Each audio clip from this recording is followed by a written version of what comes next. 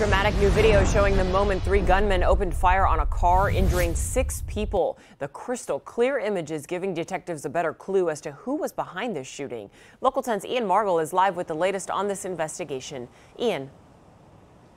This happened really just a few nights ago, directly across the street from me here in Miami, right at the intersection of Northwest 25th Ave and Northwest 37th Street. Six people were shot, and the three gunmen are still out there.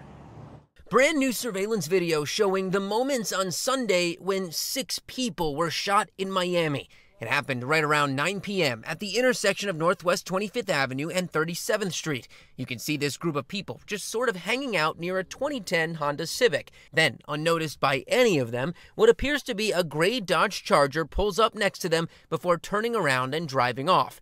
Only moments later, though, three people slowly walk back into the frame from the direction the car had been traveling, and as they get to the corner, they begin firing guns toward the people in the Civic. You can see the muzzle flashes as dozens of shots are fired, and then the three gunmen run off, one of them still firing as he was running away. Police say six people who had been hanging out in and around the Civic were hit.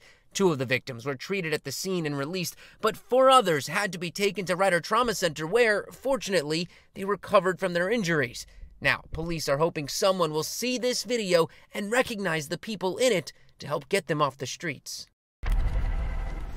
So again, this happened on Sunday evening, right around 9 o'clock. Detectives do need help with this one. So if you know anything that can help them catch these gunmen, call Miami-Dade Crime Stoppers at 305-471-TIPS or Star Star Tips. Live in Miami, I'm Ian Margol, Local 10 News.